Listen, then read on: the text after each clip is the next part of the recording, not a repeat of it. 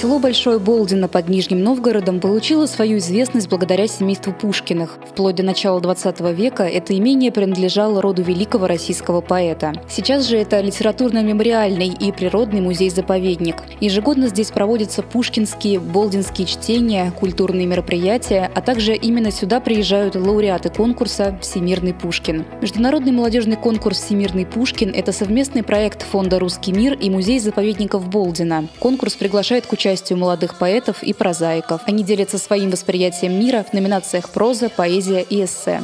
Конкурс проводится уже в четвертый раз. Особая тема этого года – 75-летие победы советского народа в Великой Отечественной войне. Еще одним нововведением для участников стали две номинации – литературная критика и публицистика по творчеству Пушкина и художественный перевод. Проекте участвуют российские и зарубежные школьники, студенты и аспиранты университетов, а также все любители и почитатели творчества Александра Сергеевича Пушкина возрастом до 35 лет. За четыре года существования конкурса в участии приняли более полутора тысяч авторов из 40 государств. В этот раз конкурс собрал более 300 участников из 15 государств и 60 регионов нашей страны.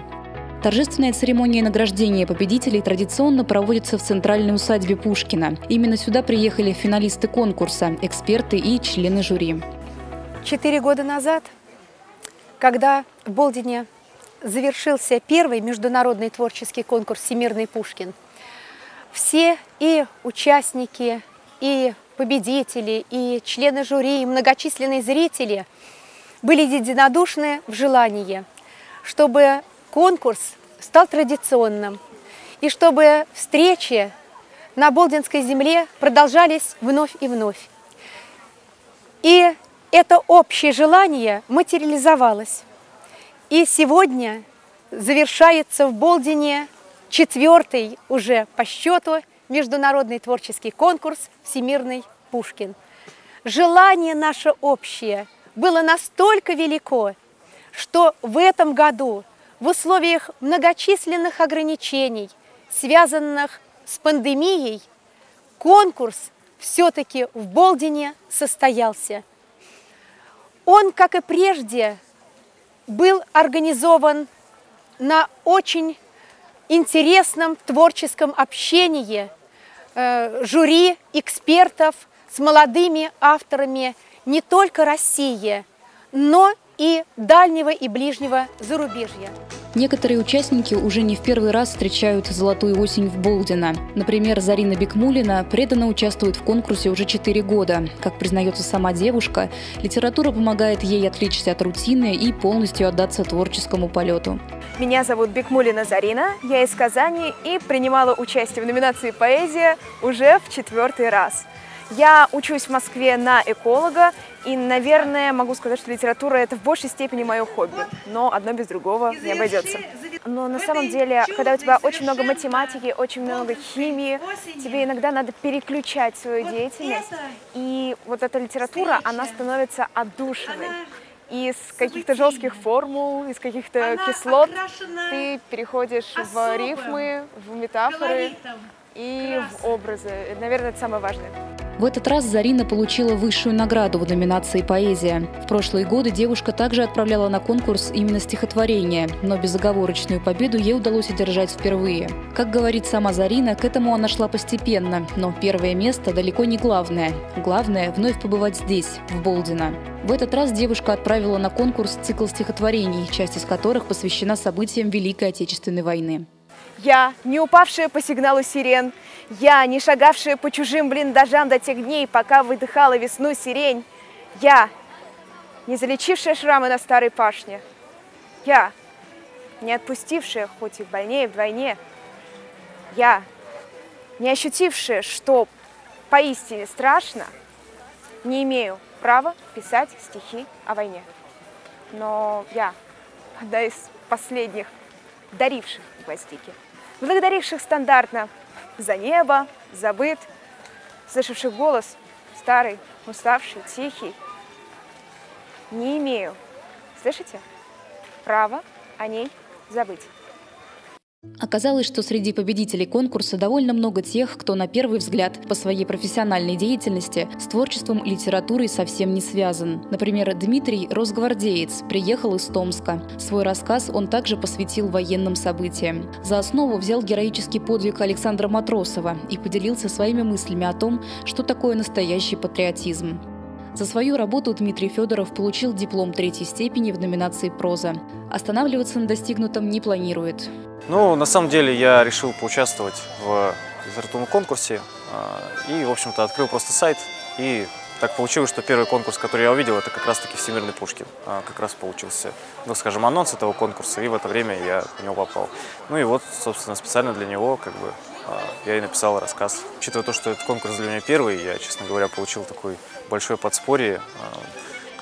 В общем, поверил, можно сказать, в свои силы, и я уверен, что буду продолжать писать и посвящать этому больше времени теперь. За годы существования конкурса «Всемирный Пушкин» удалось выявить множество юных талантов не только в России, но и за рубежом. Многие участники смогли существенно поднять свой творческий уровень и развить таланты в литературном направлении. Для того, чтобы поддержать молодых авторов, в следующем году будет издан сборник лучших произведений, которые участвовали в конкурсе.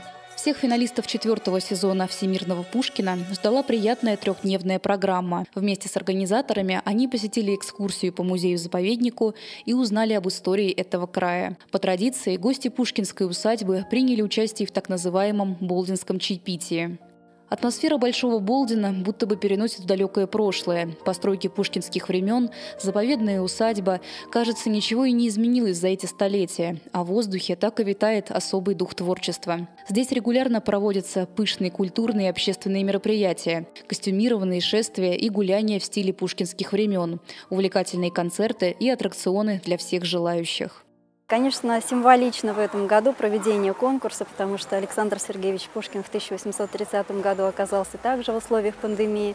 Вот, и здесь, несмотря на те условия, которые были, им было создано а, больше 50 лучших произведений. Поэтому действительно это территория а, такого особого творческого вдохновения. Поэтому, наверное, не случайно все-таки русский мир выбрал площадку для проведения конкурса именно Болдина. Действительно, феномен Болдинской осени, а, он пока не объясним, что здесь произошло в тот момент, когда Александр Сергеевич э, наполнялся какой-то необыкновенной энергией и создал лучшее свои произведения, причем удивительно то, что самых разных жанров. Поэтому для популяризации русской культуры, для популяризации а, литературы а, и вообще культуры мирового наследия.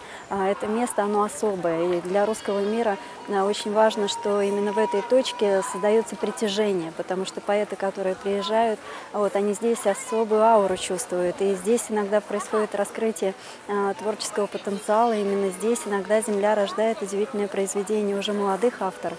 Вот, поэтому а, надеемся, что эта площадка будет а, не только в этом году, а и на будущее. Этот фестиваль все-таки будет постоянным, потому что сохранение нашего русского мира, да, русской литературы, русского искусства. Это очень важно. Это важно, а, чтобы сохранялось на постоянной основе. Поэтому будем очень признательны, если русский мир продолжит эту традицию.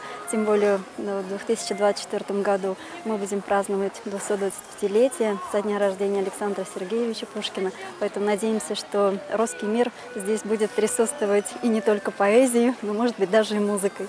Поэтому мы готовы к сотрудничеству. Благодарим всех за организацию этого конкурса. И, конечно, ждем вас в нашем сокровенном, заповедном Большом Болдино.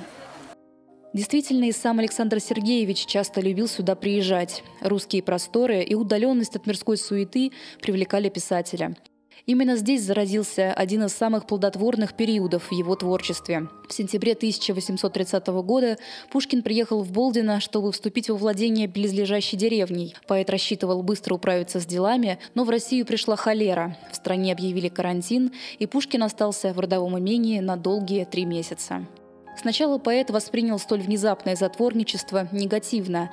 В дорогу Пушкин взял с собой лишь три книги. Второй том «Истории русского народа», «Илиаду» в переводе Гнедича и сочинения английских поэтов. Поначалу он даже не знал, чем можно будет здесь себя занять, но скука и тревожность довольно быстро покинули поэта. Золотая болдинская осень открыла невероятное вдохновение. За несколько месяцев Пушкин написал в Болдина повести Белкина, маленькие трагедии, цикл стихотворений, а также закончил свою работу над поэмой Евгений Онегин. В одном из писем к своему товарищу поэт признался «Скажу тебе, что я в Болдине писал, как давно уже не писал». С тех пор Пушкин был в родовом имении еще два раза – в 1833 и 1834 годах, и каждый раз именно осенью – Полина Прокопенко, Андрей Челышев. Специально для телерадиокомпании «Русский мир».